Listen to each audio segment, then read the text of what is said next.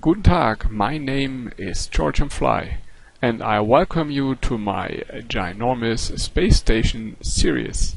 In this series, we really want to try to build huge space stations. And here, there is the first part of my space station.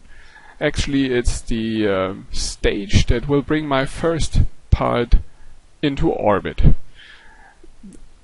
The design is a uh, basically a big grid with lots of docking ports. It's a 9 by 9 and uh, it is the first part that needs to go up in into orbit. This is um, one design I have tried and actually it fails because there's not enough thrust to it.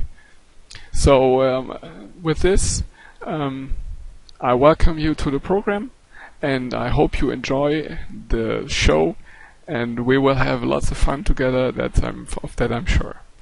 So here we go.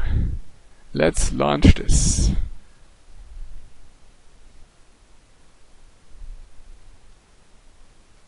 And here we are. Our little rocket is ready to take off. We have a really bad frame rate of four, four or five.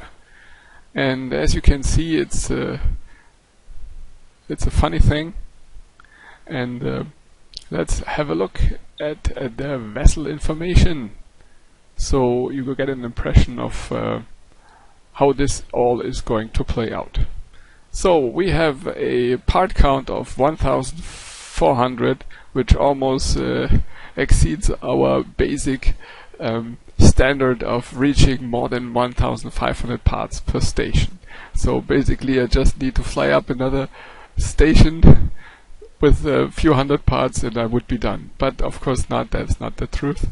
I have to uh, jettison all those tanks you see here and in the end there will only be this grid left.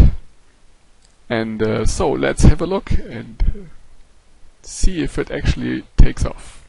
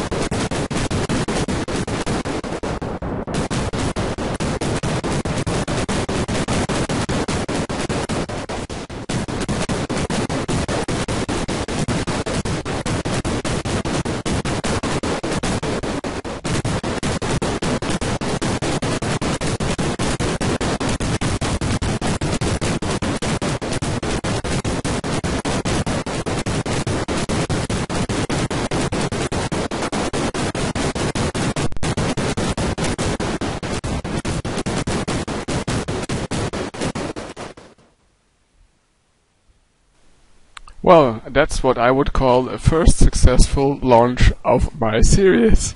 So enjoy the rest of it as well and see you in the future.